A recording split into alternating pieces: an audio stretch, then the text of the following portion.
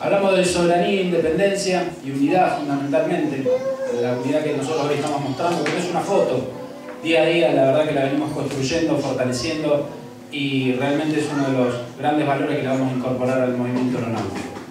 Eh, quería agradecer y en eso, hablando de la unidad, y hoy eh, me parece que hoy como el dueño de casa a Rufe, se lo quería reconocer personalmente porque el Rufe ha sido eh, al mando de UPSA ha sido de esos cohesionadores de los que ha logrado justamente en parte